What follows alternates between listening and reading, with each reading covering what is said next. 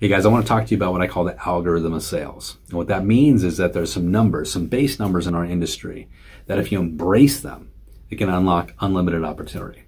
The problem is most agents don't want to embrace them. They just want somebody to hand them a buyer or seller, or for a buyer to seller to literally lay down in front of them so they can just start working with them. Guys, that doesn't work. You have to go out there and work the numbers if you want to do well. I'm going to give you six numbers that are going to be just what I would call standard in the industry that you have to embrace for you to have success. Number one, it's going to be this. For every 30 conversations you have, you'll average one closing.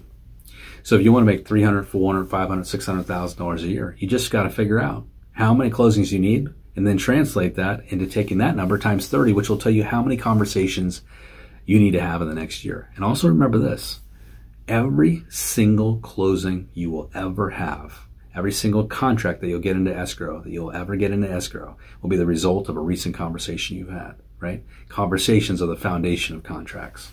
Second is for every 10 sphere members you have in your database, if you're actively working it, you're going to average one closing a year. There you go. There's another algorithm of sales that you can plug into. Here's another one. For every 50 online leads that you generate, on average, you're probably going to close one transaction. 50 online leads to one transaction. The next one is this. For every two listing appointments you go on, you'll probably average one closed transaction. Some of you much more than that today, but as the market changes, that might change as well. Here's another one. For every three buyer appointments you go on, you're probably going to average one closed buyer. Okay.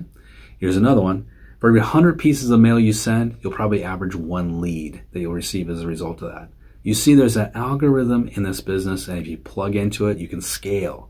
You can do anything you want but you've got to embrace the numbers. This is a numbers game, right? It's also about relationships, but at the end of the day, we got to start driving these numbers forward. I hope this helps you, helps you get you thinking about your business and the algorithm of sales for you personally. If you want to dive deep into lead generation, you really want transformation in your business, jump over to erealestatecoach.com. Join us over there. We got hundreds and hundreds and hundreds of online classes you can take right now today to start expanding your business. We've got tons of lead generation strategies. We've got downloads. We've got scripting. We've got drip text.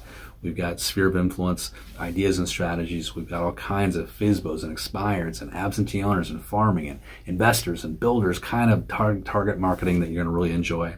Also live coaching every week. First two weeks is free. Check it out. Love to see you over there. Have a great day. Good selling. And we'll see you right back here at erealestatecoach.com very soon.